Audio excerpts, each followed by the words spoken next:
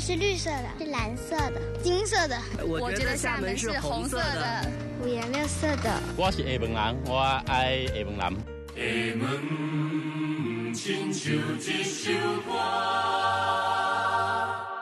厦门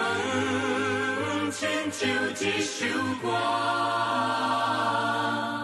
咱来念歌，予全世界来听。全世界来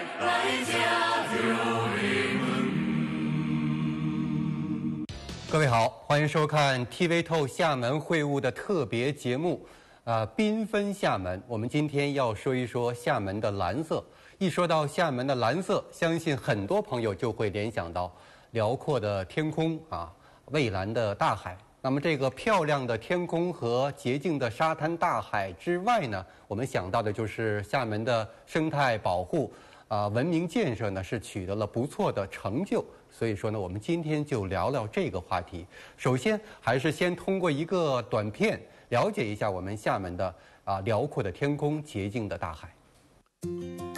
呼吸着清新的空气，感受着海天的蔚蓝，海在城中，城在海上。二零一六年，厦门全市空气质量优的天数为一百九十七天，良的天数为一百六十五天，空气质量的优良率达到了百分之九十八点九，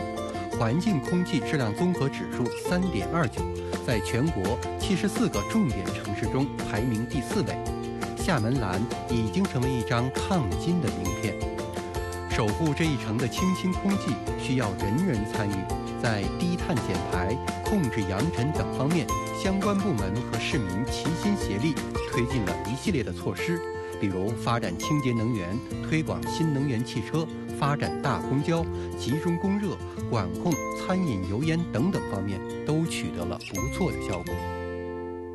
呃，今天我们请到的这个郑老师。咱们三个应该都属于这个新移新移民，对吧？郑老师是百分之百如假包换的这个厦门孩子，从小在厦门长大。你对厦门蓝的感觉？当你这个开车经过演武大桥的时候，那种蓝天蓝海那种感觉啊，把你夹在中间，你就像一一头鱼。你就像一艘船，哎，整个人都融入到未来里面去了，嗯，那种感觉实在太美。郑老师这么一一说，我想到了一个电影，就是《追捕》当中那句著名的台词，说：“你再往前迈一步，你就会融化在蓝天里的。”有的时候在路上走路，就拍一张照片，看到什么有感而发，就随便朋友圈里朋友圈里立刻点赞一片，然后大家都是在在羡慕的，流着口水的在说：“哇，你们厦门真的好美啊，天空这么蓝，空气这么好。”然后就又在炫富，大家会在讲。我每次都说我很淡定啊，我说即便是有炫，我们厦门人也是炫而不自知的，我没有任何感觉，因为我生活的这个环境整体的来说，它就是这样子的。我们都炫而不自知，这才真正的刺激人。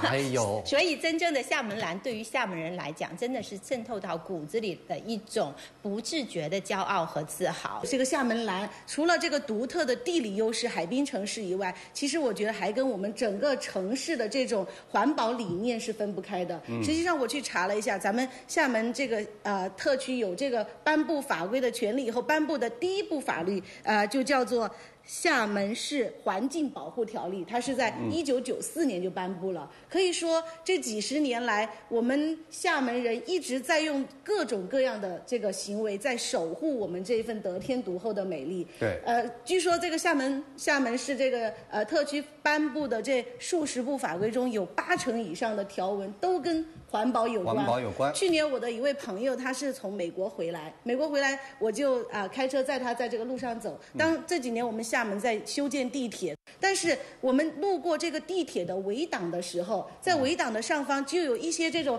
好像吱呀状的小的喷头，细细密密一直在喷着水。我的朋友他赞不绝口，他说这是一个非常重视环保的一个行动，就是可能在国外，呃，他可能有时候看到，在国内就。比较少看到。而且通过这样的行为，我们厦门虽然现在是在大搞建设，但并没有说好像呃扬尘满天，好像这个呃环境就被破坏了。所以我觉得我们的美花园城市啊，或者人居奖，都不是说单靠这一份上天的恩赐，而是我们大家共同守护出来的。不过最美的，我觉得还是厦门公交的发展。我从三十年前厦门只有三四路公交，发展到现在三四百路都不一不不止了，而且车型是越来越漂亮。过去这个拖斗车满路昏昏沉，现在呢车型越来越好了，用的环保车也越来越多了。所以生活在厦门啊，厦门简直就是一个公交出行的乐园。对，所以说厦门这个环境保护、空气质量，这个整个的呃环境保护的非常好。它并不是说简单的只是一句空话。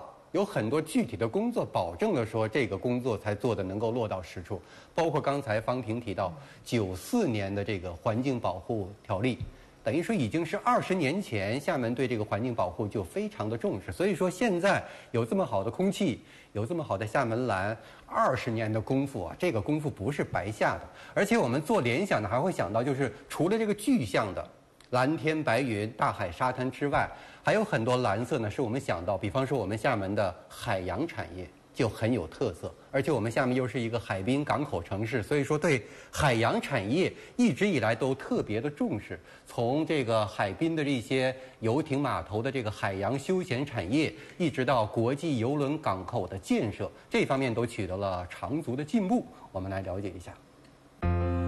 位于厦门岛东部的五缘湾帆船游艇港是目前国内最大、最成熟的游艇港之一，拥有三百五十多个水上泊位。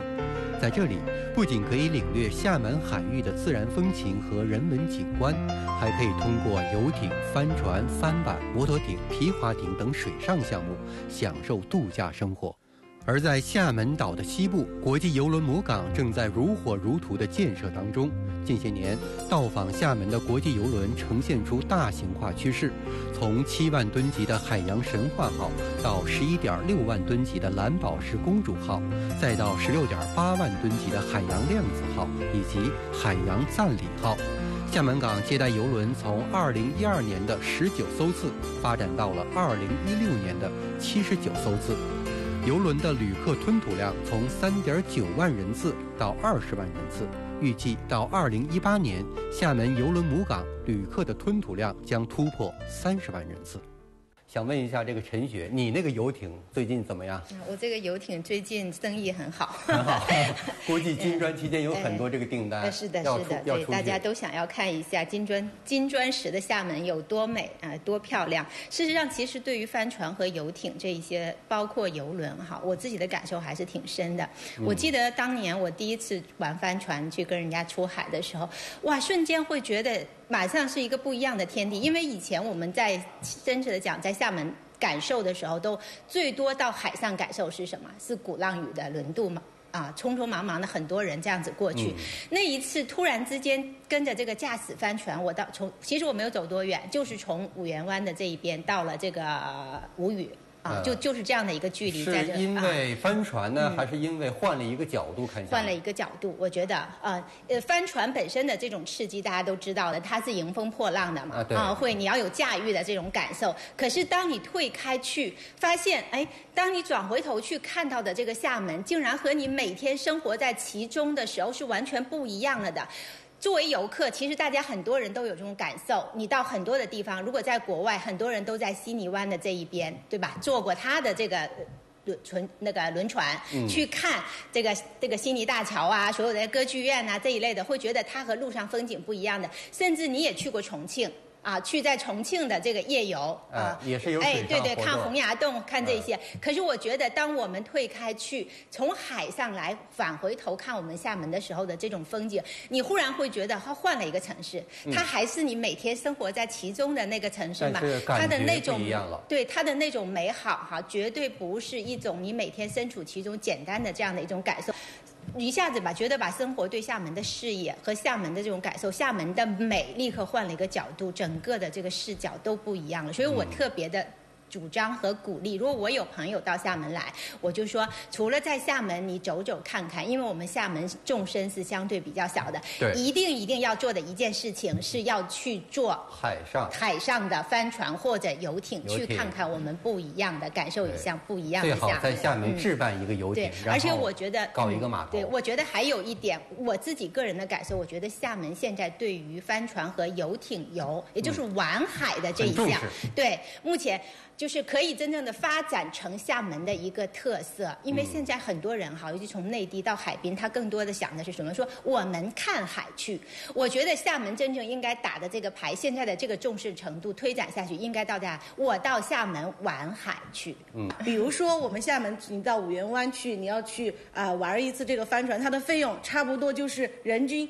几十块钱这样一个消费，嗯就是一它差不多五十到七十分钟，然后这个商家。他会给你提供这个，比如说救生设备、防水防晒的设备。你上上到他的帆船上有专业的驾驶员，你这样出海也就是呃转一圈。如果运气好的话，有时候还可以看得到白海豚。而且我觉得咱们厦门作为一个成熟的旅游城市，它这个呃旅游业它打造的是非常贴心的。如果说你遇到那一天下雨了，或者风不够大，哎呀，你这个帆船好像没有游尽兴，商家还会有一些意外的彩蛋给你，比如说给你安排一些别的水上的项目。目啊，或者是给你一些小小的礼品啊，来补偿一下你这个呃这个游客的心理。所以说，他这个呃得到的好评是很高的。郑老师，我从小在海边长大的，那个从小都泡在海水里，这海海是我们的第一娱乐。你小时候一般都是玩那个舢板，是不是？不是，咱那个我们那时候还没有舢板，那个时候就是一个小木板，然后啪啪啪啪光着屁股就游出去了。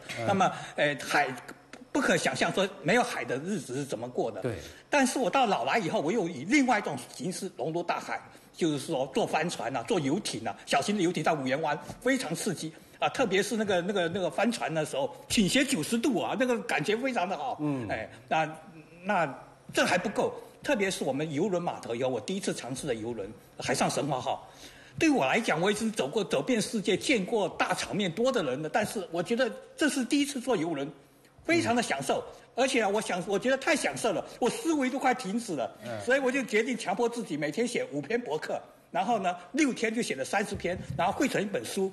让我在海上尽情的享受。这个是在海上游艇当中写的，游轮上面，游轮上写的，游轮上面，对，六日游，六日游，六日写了三十二篇文章。我们这个节目正好帮着这个郑老师卖卖这本书，这本书应该还是这本书是免费赠送的，到网络免费看的。而且郑老师也是在世界上很多城市都待过，比方说我知道你去过那个伊斯坦布尔。对，那是一个非常有特色的一个，也是一个港口城市，非常美美丽的海峡，那个蓝天白云。那边这个海和我们下面，比方说坐坐船的感觉有什么不同？因为它是博斯普鲁斯海峡，是一个海峡，所以海峡它是适合的是这个夜游。然后呢，就是一条船出去，那你游游游在沿途有几个登岛的地方，然后就像我们的这个什么呃游元当湖那感觉，哎，毕竟是不跟那个游轮是两码事情的，哎，它的。他的一日游也搞得非常的精彩，但是他跟游人完全是另外一码事。他在船上最多只能吃点水果，而不是像我这样的吃货，在这个海上神话号，真的像神话、像公主、像皇帝一样，享受那么多中西的大餐，特别是那个外轮上的那个冰淇淋啊，那个冰淇淋还是真正的冰淇淋，哇，真是甜透了。所以郑老师说的这个游轮哈，郑老师说他吃到了非常美味的冰淇淋，然后吃到了非常好的餐，那是游轮。其实也不贵，实际上现在我们厦门这边的游轮，比如说在东南亚游的话，四五天人均可能也就是两千到三千这个价位，嗯，就是可能跟我们在国内的这种四五日游的价位是差不多的，对，所以可能要要。品质会一定会更好。就是如果同价比三千块钱的游轮游和三千块钱的陆地游的话，三千块的游轮游的性价比一定是更高的。嗯，因为它无论是服务还是饮食，它主要是在游轮上完成，像这个这种提供都要比陆地上的这种奔波游来的更好。所以游轮拉近了人与人的距离，我觉得非常有意思。在船上，哎，经常有陌生人跟跟我说：“你是不是 TV 套里面那个那个人啊？”跟老师有艳遇。非常非常高兴了。那其实船船上不仅有厦门的游客，其实很多来自。莆田的、泉州的、福州的，甚至广州都跑过来了。所以厦门的那个就是厦门作为一个邮轮母港，对它的优势能够显示出来。所以下船之后，我只要花五块钱就有专车送到厦大。那其那些人呢，还要到火到去赶动车。嗯啊，可见厦门人的幸福感又比他们多了一个层次。对，好，我们休息一下。各位正在收看的是 TV 透啊厦门会晤的特别节目，我们稍微休息一下，马上回来。蓝天白云，大海鲜花，厦门蓝点亮了朋友圈。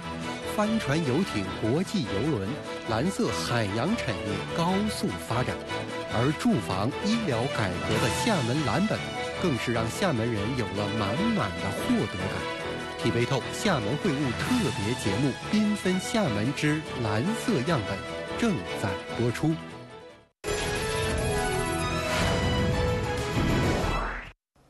欢迎各位继续来收看 TV 透厦门会晤的特别节目《缤纷厦门》。我们今天说到的是蓝色厦门。那么说到蓝色厦门，除了我们想到的环境保护、生态建设方面，厦门取得了非常好的成就之外，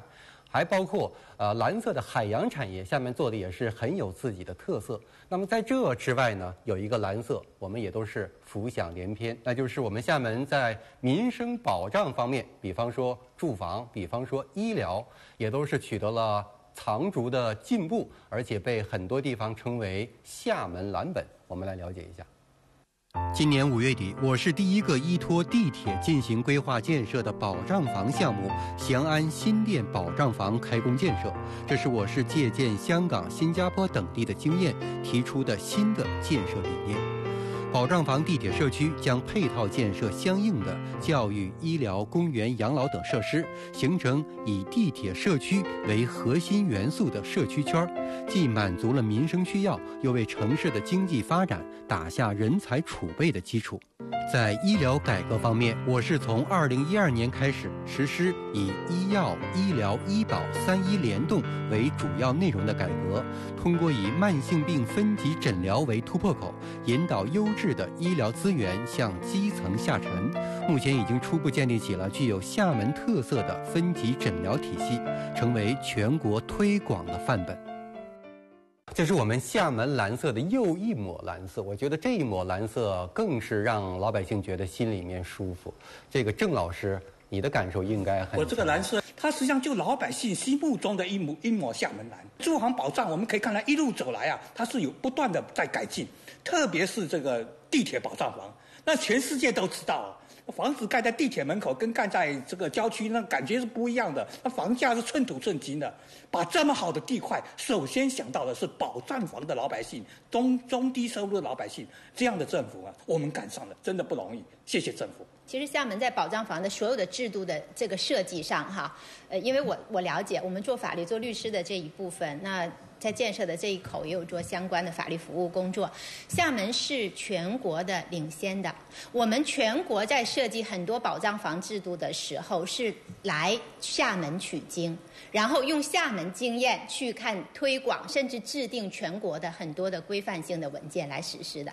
所以他们的这种对于保障房的考量，包括这一次把地铁口这一些黄金的地段，刚才曾老师有说拿出来建保障房。事实上，这就实现了两种厦门人真正的能够感受到幸福的。第一个，交通便利。是所有保障房，其实大家之前都一直诟病的，就是说你给我提供了一个住房，可是那么远，公交车通的那么少，而我住保障房的人更多依赖的是什么？公共交通呀，啊，根本就没有办法实现我生活基本的一个便利。在厦门，基本上考虑到了这一点的这个消除。第二个就是什么？就是真正的把保障房建在这个地方，它是大片的。可以除了满足很多人的居住之外，它其实可以盘活一个地铁周边所有的经济圈、文化圈啊，所以让这些真正的保障房申请的人能够全融入到整个的生活的里边去。所以对于厦门能够考虑到保障房，包括医疗制度，我觉得我作为新厦门人哈是有非常深的感受的。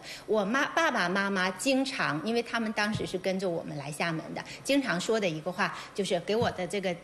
北方的亲戚说，说在厦门是非常幸福的。别人问他说为什么幸福，他说因为做任何的事情都可以很轻松的，用自己的一己之力可以实现自己的啊，对这个就是说很多事儿通过正常途径在窗口可以对全部都可以实现，所以他们就觉得在厦门生活是非常轻松、非常惬意、非常幸福的。而这些幸福就体现在生活的方方面面，每一个小细节的设计，包括我们今天说的这个保障房，包括这个医疗。其实我们现在做这个医疗分级制度，哈，社沉到社区，我们不不知道大家其他人有没有感受，我就有很深的感受。社区的这些医生真的是非常好，他都把手机号码给你，嗯，基本上不敢说二十四小时，但是呢，你在机方便的时间跟他们去联系，服务态度是非常好的，嗯，没有以前很多人对医生的感受会觉得医生很不耐烦。一方面是医生他有权专业的权威，一方面可能是因为他很忙碌。但是我们现在厦门在有了这种医疗分级之后，哈，社区的医生的态度是非常非常让很多厦门人好像体验到了自己有一个私人医生的那种感觉。对，已经真的建立起这种感受了。这个方婷，你的这个老母亲到这边是不是有自己的私人医生？哎，对，签约好像真的，我还真的是我们家真的还签约了一个社区医生。其实本来我们家离这个呃旁边的这个三甲医院就很近，然后。现在网上预约呢也很方便，所以之前在推行这个社区医生的时候，我们也没觉得好像我们有有什么必要的，反正生病去。那个大医院也挺方便的，又不远。但是咱们厦门推行的力度很大，不光是这个社区宣传哈，然后单位啊，包括学校啊，都在叫我们说你要去签约，你要去签约，而且它很方便，你只要签约，你的这些费用都可以从咱们医保的这个费用里面就直接帮你扣除掉了，不用说很繁琐的，你只需要签一个文件然后这个签一个字，然后这个医生就跟你联系上了。而且我原本觉得说这是不是一个政府的任务啊？他们要完成任务，我们就配合一下。没想到签约之后，真的这个医生就主动。跟我们联系，对我们家里的这个人员的情况、大家的健康情况，他进行联系。因为我们家是属于上有老下有小，中年人也到了这个各种毛病出来的时候，到你家摸底。那对我们进行了摸，他聊，因为我妈妈是呃一直血糖偏高，长期都在服用这个控糖的药，然后定期也要到医院去复查。以前呢，就是呃到医院去开一次药，他不能开太长时间的，所以我们就要啊隔一段就要去开一次药，隔一段就要开一次药。但是社区医生在这里，他这种。上报了以后，他可以一次性开一个月的药。而且到了时间，他就会提醒你说：“哎，你现在该来查一下你的什么血糖啊、血红蛋白呀。”因为以前我们可能会因为哎去医院太麻烦，可能就复诊就没有那么好。那他就会提醒我们做这件事情，而且逢年过节还会给我妈妈发上一条很贴心的短信，就说这个节假假期将至，这个李女士，请你注意你的饮食，你要控制的，你不要长胖了，因为你是血糖高的人群，所以非常贴心。贴心。我一直特别喜欢说在厦门生活。的就是你的幸福而不自知，我一直喜欢用这句话。其实很多厦，就是你生活在厦门，可能你没感觉。我就说没有对比就没有伤害。厦门有很多的地方哈，为市民做的都是那种感觉是很小的，但是你真拿出去是很大的。比如说厦门的这个全民医疗保险，它也是率先执行的。像我妈妈他们因为从外地过来的，所以他们的保险，包括我很很多同事的，基本上一年就五十几十块钱，他就可以覆盖他在厦门的医疗保险了。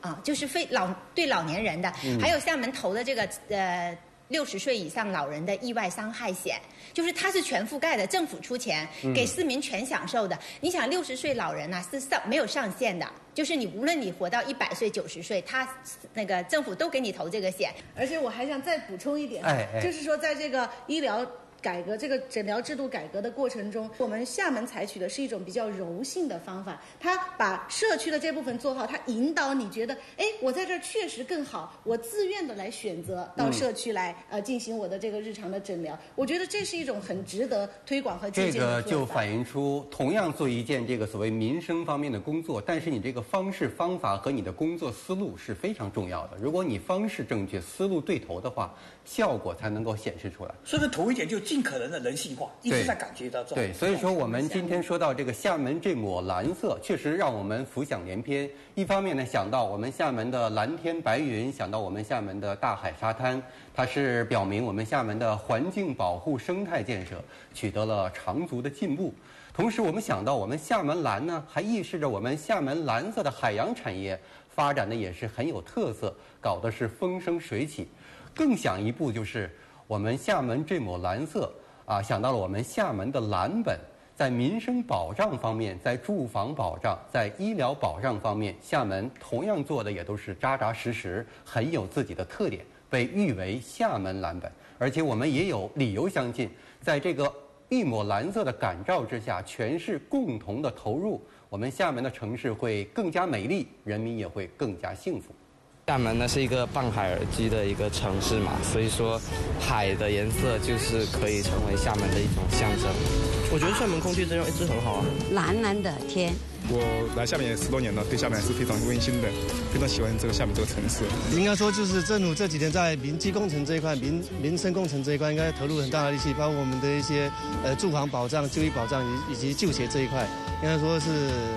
每年都有一些新的动作，都有一些新的举措来。之前的同事有一些，他们就选择了，比如说保障性住房，而且的话，管在高高岭那边，而且环境非常好，然后楼房的质量里面都是带装修的。